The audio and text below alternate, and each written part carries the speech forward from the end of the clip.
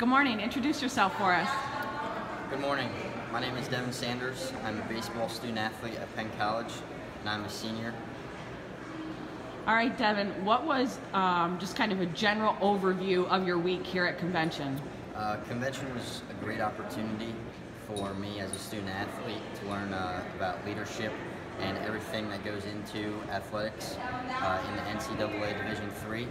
Um, I want to thank the NEAC administration as well as John Vanderveer, athletic, athletic director, um, Matt Blymeyer, assistant athletic director, and Elliot Strickland, student affairs vice president at Penn College.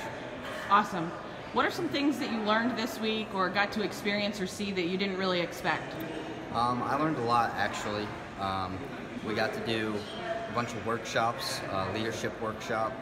Um, we got to uh, learn about the whole NCAA uh, Division III background, and everything was very informational, and I have a lot to take away. Great. Any favorite moments from the week? Uh, favorite moments would have to be probably uh, listening to um, President Emmert of the NCAA uh, honor the 25th anniversary Silver Award members and all the members that evening at the honor celebration. Uh, that was very, very um, influential and uh, it was a great memory.